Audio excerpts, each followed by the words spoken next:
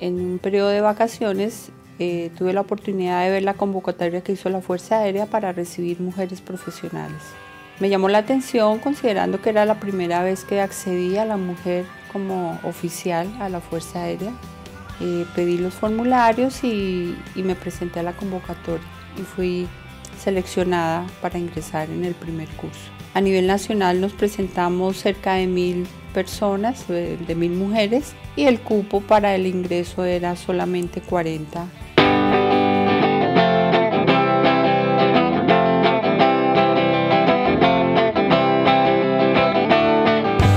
Así fue que me fui para la Escuela Militar de Aviación en Cali en abril del año 79. Es así como recibí mi grado de teniente eh, a los eh, meses de estar en la Escuela Militar y fui seleccionada ya graduada como oficial para trabajar en las áreas financieras de la institución.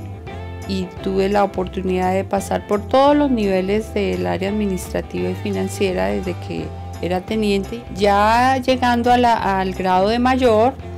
y visualizando que seguía para mí dentro de la institución, estaba la División de Finanzas del Ministerio de Defensa. Siento muy, muy orgullosa de decir que fui la primera mujer en llegar al área de finanzas del Ministerio. Después de esa experiencia fui asignada tesorera del Ministerio de Defensa, que también es la primera vez que logra una mujer oficial llegar a ese cargo y siempre conté con la credibilidad y con el respeto de mis comandantes y la confianza eh, siempre me fue dada para el manejo de tan importantes funciones.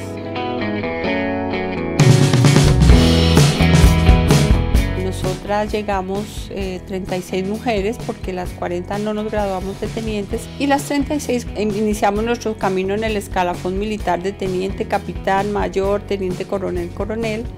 y solamente llegamos a coronel 6 mujeres. Y dada la experiencia que tenía en, tantas áreas desde mi desempeño como teniente hasta coronel, la Fuerza Aérea me honró con el nombramiento como jefe de control interno de la institución y fue la última posición que tuve durante tres años casi de liderar la oficina de control interno. Me siento muy orgullosa de las funciones que desempeñé en tan altos cargos de la institución y también de que eso ha abierto las puertas a que la institución haya seguido recibiendo mujeres en los cursos de oficiales porque la experiencia que tuvo la institución fue muy grande con nosotras y es así como hoy en día, no solo en el área administrativa, sino en el área operativa de vuelo, la Fuerza Aérea ya hace más de 13 años tiene mujeres.